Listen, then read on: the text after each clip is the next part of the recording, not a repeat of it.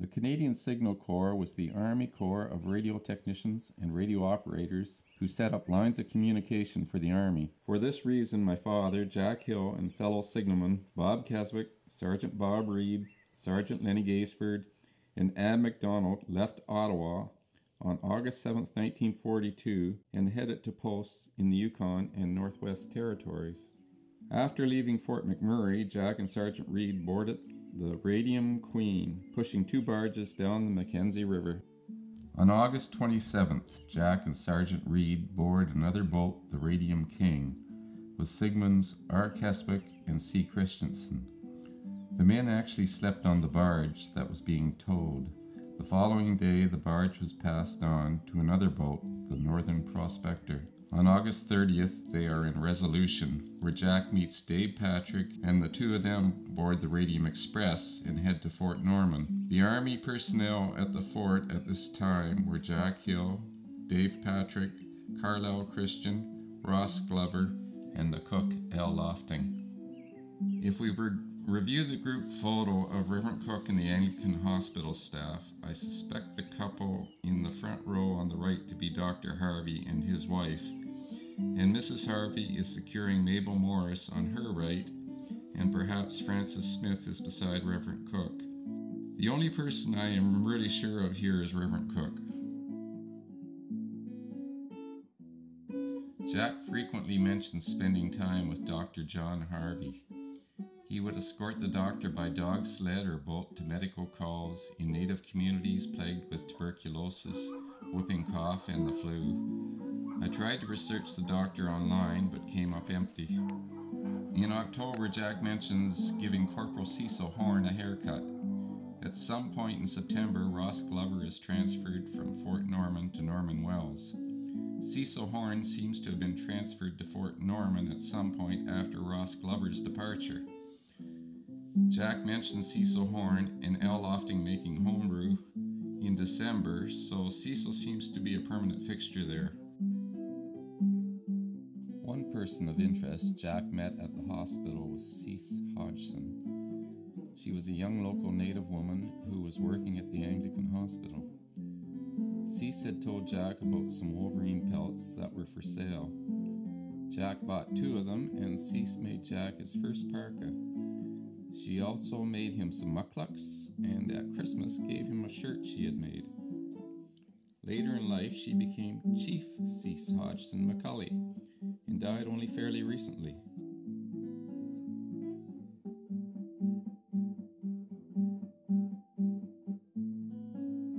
Jack also knew her father, Hib Hodgson. I believe he was taking mail to and from Norman Wells for the troops, but this is one of the last mentions of Hib until May 27, 1944. At the beginning of July 1943, Jack comments that there are 12 cases of flu at the hospital, 9 cases coming from Good Hope. On the next day, Jack says there are more cases of flu at the hospital and we are now treating patients in their homes. On the third day, Jack cites more people are getting sick all the time. He notes whites aren't getting the flu.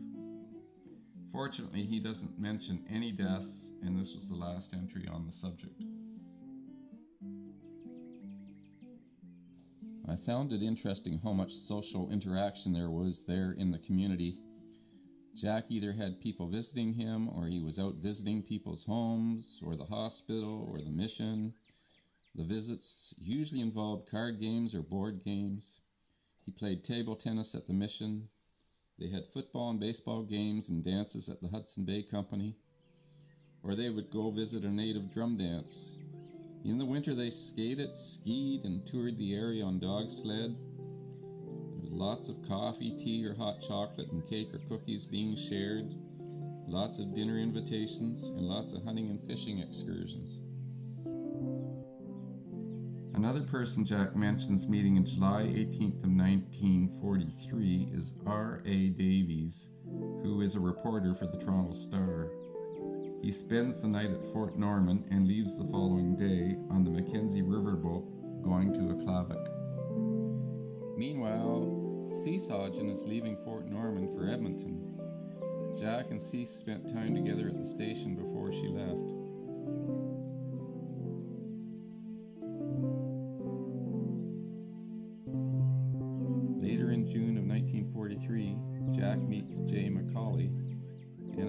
I believe this to be James McCauley, Cece's future husband. Also in June, Art Harmon joins the station with Gord Wright. Another cook named Johnny Law also arrives. I don't know if Johnny is in any pictures, but Art Harmon has a brief cameo in our last film clip.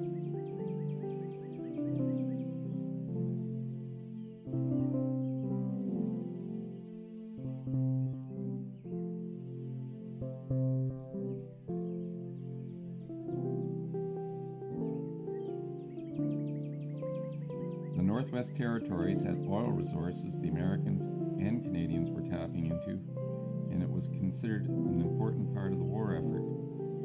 Meanwhile, in the news, Canadian soldiers are getting a 20 cent a day raise in salary. Woo-hoo.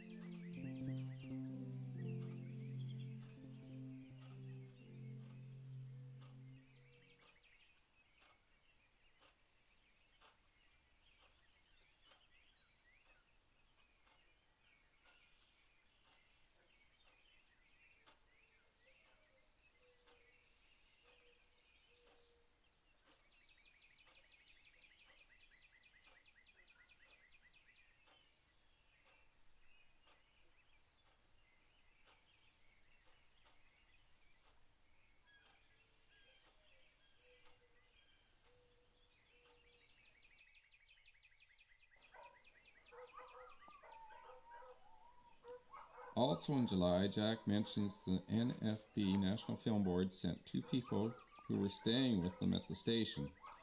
Dave Patrick and Jack had their pictures taken for the National Film Board Canada Carries On series. The name of the reporters were Jim Beveridge and Don Fraser. I contacted the National Film Board archives hoping to find the pictures. They were very helpful, but we did not find them. I did see a film of the boat trip into the Northwest Territories. It would be very similar to my father's experience. For that much I was grateful. It provided me with insight into the journey. On August 27, 1943, Jack visits with Joe Dillon. Joe received 11 stitches after being rifle butted by Ernie McDonald back in June. The two men were trappers, and this was a dispute over trap lines. Trapping was lucrative during the war, with some trappers making 5000 to 6000 a year. Big money in the 1940s. Later in September of 43, Joe Dillon and Ernie McDonald went to court concerning their dispute. Ernie got a one year jail sentence, and Joe got a $25 fine. There's just no explanation as to why, that's all he wrote. Just as a side note, Jack mentions he bought a Wolverine pelt for $16. He uh, notes only 8 pelts around town this year. Also in August, a U.S. Army plane crashed two miles downriver. On August 30th, Pilot Meeks and crew were forced to stay at Fort Norman because of weather. They stayed with Jack at the station and left the following morning while the weather was still nasty. It was snowing and windy, and their wing touched the water. The plane flipped over. The mechanic drowned while four others were rescued. They sat on the pontoons while the W.L. Taylor boat did the rescue job. Jack was amongst the rescue team.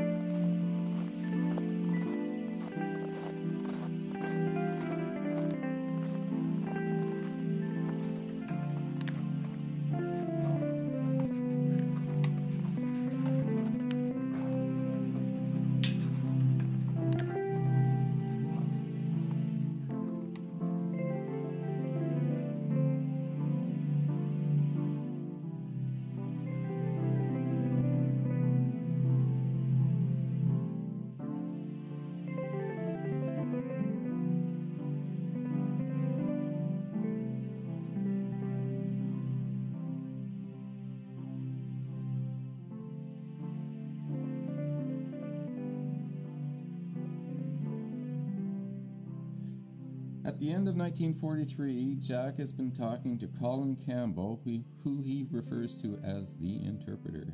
They talked about starting a cub pack at the mission. Jack was involved with scouting prior to the war, and Colin was enthusiastic about the idea, so Jack wrote Ottawa and they registered a scout group with the blessing of the mission.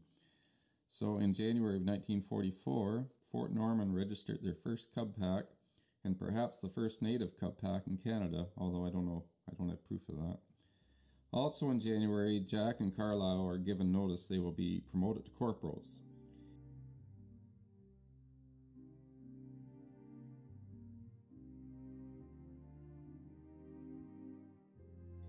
In February, the first Cub Pack meeting was held and eight Native kids joined up.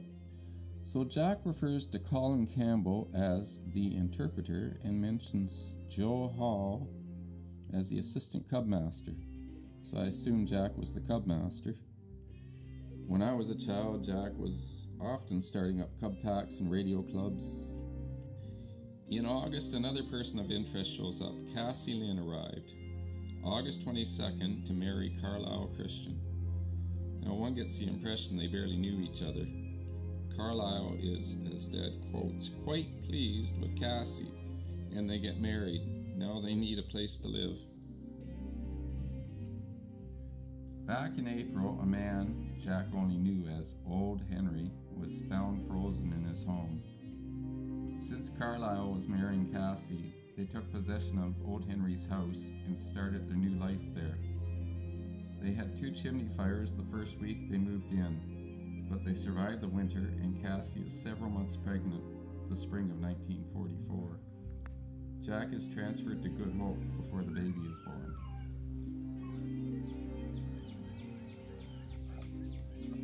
Ah, that's a good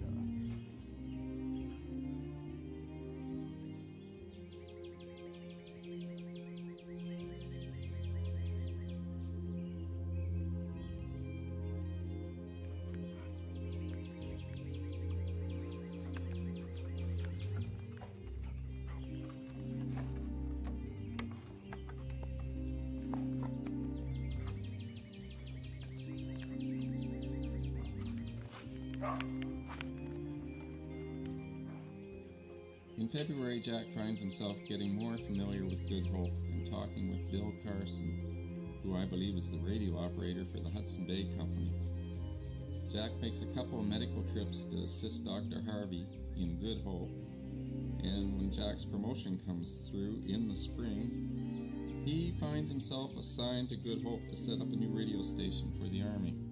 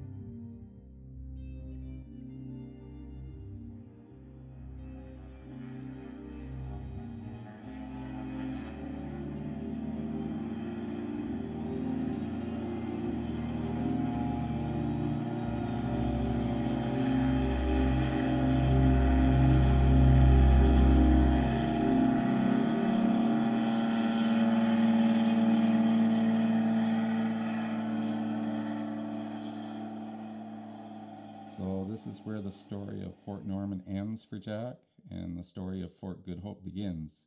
If you want to follow Jack's story to Good Hope, just check out my YouTube channel or Google Good Hope Northwest Territories 1944. Uh, there are several pictures and a short 16 millimeter film that takes a walking tour of the community.